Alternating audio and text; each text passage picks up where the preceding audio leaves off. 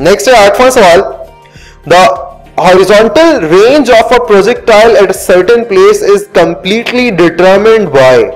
Range का formula अगर मैं आपको लिख दूँ इस जगह पे r is equal to v i square sine two theta over g तो रेंज डिटर्मिन करने के लिए आपको एंगल चाहिए, आपको इनिशियल वेलोसिटी चाहिए। जी तो कांस्टेंट है। तो हमें एंगल ऑफ़ प्रोजेक्शन और स्पीड रिक्वायर्ड है। तो पहले में उसने सिर्फ़ एंगल ऑफ़ प्रोजेक्शन बोला है, दूसरे में सिर्फ़ स्पीड बोला है, तीसरे में मैस मैस पर डिपेंड नहीं करती रेंज चौथे में वो स्पीड और एंगल ऑफ़ प्रोजेक्शन दोनों की बात कर रहा है। तो this is the correct answer fourth यानी delta is the correct answer अब इसके अलावा आप देख सकते हो मैक्सिमम रेंज किस एंगल पे होती है? 45 डिग्री पे। तो वो आपने हमेशा से याद किया हुआ होता है, लेकिन यहाँ मैं साथ आपको इधर ही बताया चलता हूँ। 45 डिग्री पर रेंज मैक्सिमम होती है और किन दो एंगल्स पर रेंज बराबर होती है, जिन दो एंगल्स का सम 90 डिग्री होता है।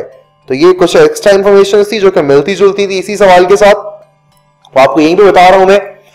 नेक्स्ट क्वेश्चन है question number nine if velocity is doubled then momentum increases four times and kinetic energy two times तो आपको पता है कि मोमेंटम का फॉर्मूला होता है P is equal to m v और काइनेटिक एनर्जी का फॉर्मूला होता है हाफ़ एम वी स्क्वायर तो अगर हम वेलोसिटी को डबल करते हैं तो मोमेंटम तो डबल होगा कि two v will become two p लेकिन यहाँ पे टू वी करेंगे तो बिकम फोर काइनेटिक एनर्जी तो हमारे पास momentum two times in kinetic energy four times बढ़ जाएगी.